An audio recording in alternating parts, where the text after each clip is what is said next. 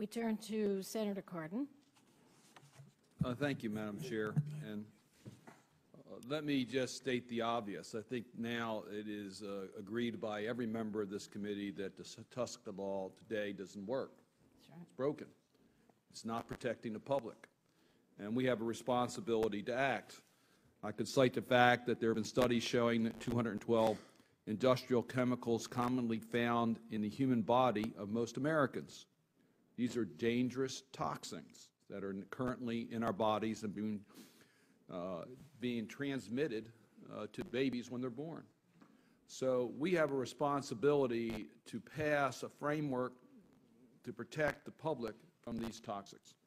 So I come to this hearing wanting to make sure that we get this job done.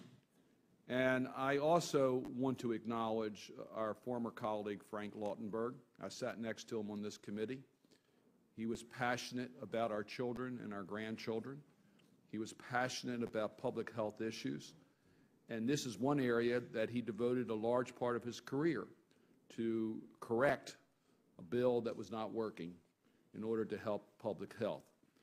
Senator Vitter, I want to thank you for reaching out to Senator Lautenberg and bringing forward a, a bipartisan bill that sets up a framework which is certainly much preferred over the current law. And that gives us a way, I think, to move forward. So I agree with you. I think I'm optimistic that we should be able to use that framework uh, to move forward, uh, to move forward legislation that can not only pass this committee, but can pass the United States Senate and House and be signed by President Obama. The compromise that you brought forward needs further change, and I'm very pleased to see that you've reached out uh, to Senator Udall and other members of this committee uh, to look at the legitimate concerns that have been raised in the bill that is brought forward. Madam Chair, I'm going to ask consent that a letter from the Attorney Generals of California, Connecticut, Delaware, Hawaii, Maryland, Massachusetts, Oregon, Vermont, and Washington be made part of our record. Doug Gansler, the Attorney General from Maryland, uh, joined this letter, saying that they have deep concerns about the unduly broad preemption language in S 10009. Uh, I could cite many examples of concerns that we have. Uh, we could talk about the BPA and the plastics and, in baby bottles that have been uh, brought to national attention, and many of our states have acted to protect the public health of their citizens. That's federalism. That's how we get to know what we can do nationally by how our states act, whether it works or not, and then use that as a way to strengthen our national laws. The Attorney General of Maryland points out that uh, the uh, compromise bill could affect the health quality of Marylanders by preempting in areas where Maryland has acted on flame retardant products, on lead uh, contain, uh, on the sale of lead-containing children products. Maryland's been one of the leaders because we've had a serious problem of lead poisoning in our state. So we're acting in that area. Or children's jewelry.